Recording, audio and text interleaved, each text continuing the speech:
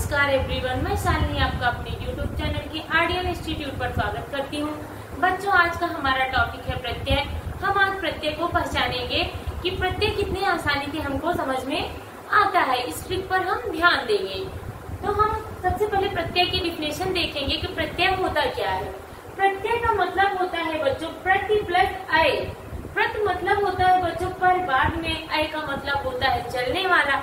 अर्थात शब्द के बाद में लगने वाले या चलने वाले शब्दों को हम प्रत्यय कहते हैं। एक डिफिनेशन के रूप में हम लेते हैं, बच्चों, कि वह शब्दांश जो किसी शब्द के अंत में लगकर उनकी शब्दों में विशेषता लाते हैं, उन्हें हम प्रत्यय कहते हैं। या यूँ कह सकते हैं कि ऐसे शब्द ऐसे शब्दांश जो किसी शब्द के अंत में लग के उसके अर्थ में परिवर्तन ला देते हैं या उनमें विशेषता ला देते हैं, उन्हें हम प्रत्यय कहते हैं। तो आइए आज हम देखते हैं कि प्रत्यय के मूल शब्दों को कैसे अलग करते हैं।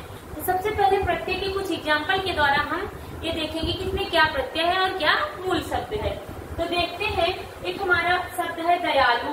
तो दयालु में हमारा प्रत्यय होगा बच्चों आलू और मूल शब्द आपका होगा दया लू तो दया प्लस आलू।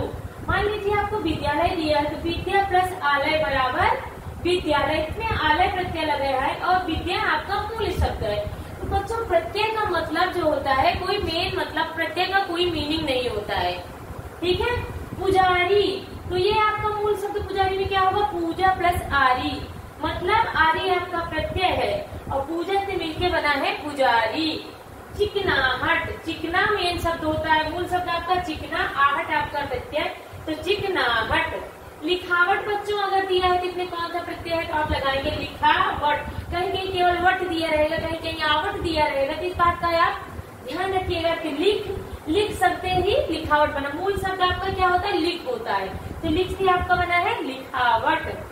खट, खटास, एक शब्द आपका आया है, खटास। इसमें खट्टा, इसका खटास किससे बना है? खट्टा आपका मूल शब्द होता है।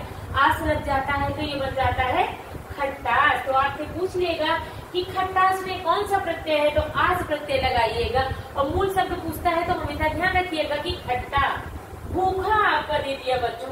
भूखा तो भूख प्लस आ। भूखा में बच्चों, मूल शब्द आपका क्या होगा? भूख होगा।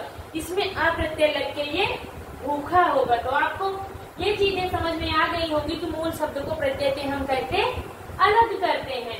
अब हम आते हैं प्रत्यय के प्रकार पर बात करते हैं बच्चों, कि प्रत्यय कितने प्रकार के होते हैं। तो प्रत्यय के प्रकार। मूल रूप से बच्चों प्रत्यय दो प्रकार के होते हैं। कहीं कहीं तीन प्रकार भी प्रत्यय के दिए हुए हैं। प्रत्यय के प्रकार। तो ये मूल रूप हम दो ही पढ़ते हैं। उसी दोनों दोनों प्रत्यय में ही, दूसरे प्रत्यय में ही, तीसरा प्रत्यय आपका समाहित है। प्रत्यय दो होते हैं, बच्चों नंबर एक होता है कृदंत प्रत्यय या कृत प्रत्यय। इसको कृत या कृदंत भी बोलते हैं। कृदंत प्रत्यय। चाहे कृत प्रत्यय बोलिए आप, चाहे कृदंत प्रत्यय बोलिए। नंबर दो के बच्चों, हमारा आता है कथित प्रत्यय। जो एक तीसरा होता है कथित प्रत्यय, जो एक हमारा तीसरा होता है बच्चों, उसको हम स्त्री प्रत्यय कहते हैं। जो स्त्री प्रत्यय होते हैं बच्चों, वो तथित प्रत्यय प्रत्यय के अंतर्गत आता है, इसलिए उसको हम ज़्यादा डिटेल में नहीं पढ़ते। मेन आपका यही दो है। तो कृत प्रत्यय का मतलब होता है बच्चों, सबसे पहले हम कृत प्रत्यय देखते हैं। कृत प्रत्यय वो प्रत्यय होते हैं जो धातुओं के अंत में लगते हैं। धातु या क्रियाओं के अंत में लगने वाले प्रत्यय को हम कृत प्रत्यय कहते हैं। यहाँ लिख दे रहे हैं, क्रिया के अंत में। क्री से कृत कृत्य क्रिया, ये याद रखिएगा।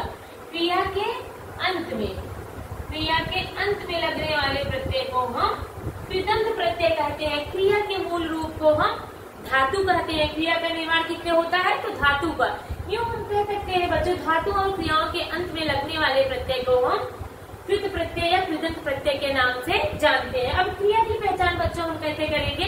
क्रिया जिस शब्द में न लग जाए, वहाँ समझ लेना क्रिया। जैसे रोना, लिखना, सोना, पढ़ना, हंसना, खाना। तो जिसकी लाश में न लगा रहे बच्चों, वहाँ पे हमारा क्या होता है? क्रिया होता है। तो